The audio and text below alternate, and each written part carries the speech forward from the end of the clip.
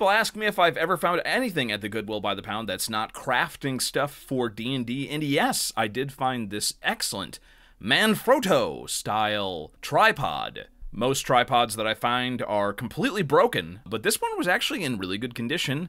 The only issue was it was missing the mount. So obviously without the mount, you can't put a camera on there, but luckily uh, another day I actually found a mount that's a Manfrotto mount. Didn't understand what was going on here because this had this weird Celestron thing on it. And apparently that's a mount for a telescope. Taking that off, I now had a perfect mount so I could use this new tripod with my camera. Hey, it's not the best tripod in the world, but you know, it's a heck of a lot nicer than the one I currently have. So, yes, I do find cool stuff at the Goodwill by the pound, other than my normal junk.